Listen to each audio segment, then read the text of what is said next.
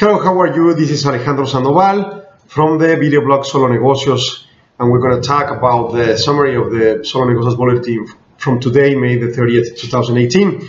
Main information to the uh, today in the markets is a uh, potential coalition that might uh, Italy intend again for the government, and that will avoid the following election and the potential de facto de facto referendum that was. Um, what that, that is feared and that is expected if a new election comes through in fall 2018. Well, we'll, be, we'll begin with the markets in the exchange market specifically, and this is the main news. Uh, Italy announced some of the two parties that won the election last time and that were required to make a coalition uh, government, and they didn't met the the negotiation. Well, uh, they moved the markets during the whole week negatively. And today it was announced that there was a new intention and negotiation between these two parties to, to reach the agreement of a, of, of a coalition, this government. If they do meet that uh, goal, then we will avoid the following election in, in fall 2018, which will imply uh, the potential winning of one of these parties and then potentially bring the idea to Italy to make a referendum to exit the European Union, and this will be catastrophic for the European Union, for international trade, and forget it, we won't like it in Mexico. Now, uh, what else happened today? The Federal Reserve exposed its beige book, and it showed information with growth with slight improvement. The pace of, of growth is moderate to moderate, so it's basically a smooth but good one. Manufacturing sector is, is the one with strong position. Uh, and it keeps the idea that it will be gradual, the normalization pace on the rate of the Federal Reserve uh, for, the, for the rest of the year. Specifically on June 13, we will have potentially one increase in the rate and then one more maybe by December 2018.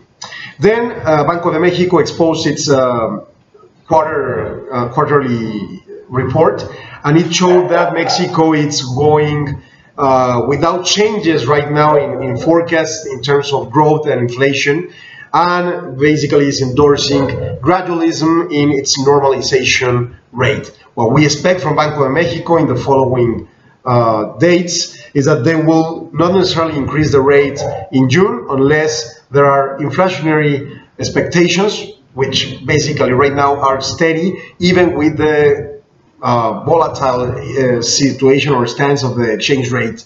But maybe after the election, and all depends if there's a, a clear winning from one of the candidates or if there's a tie and then they have to go to court or something else.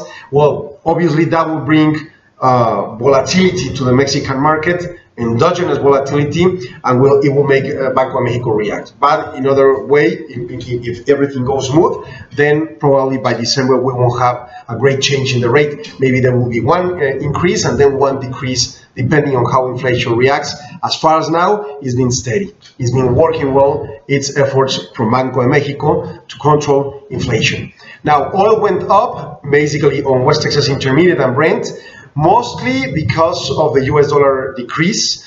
Uh, and also, it is expected that tomorrow the energy uh, agency from the United States, Energy Information Agency, will report a diminishing or a decrease in the inventories for last week.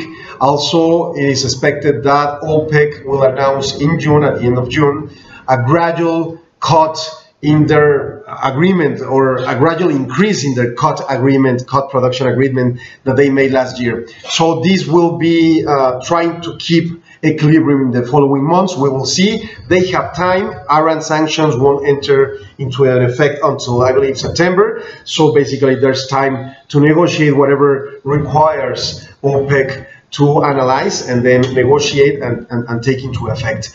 Also, uh, in the case of Mexican exports, it went down. Well, Mexican oil uh, price went down. We know that uh, we have this situation where the Mexican oil right now it's at $60 per barrel or over that rate.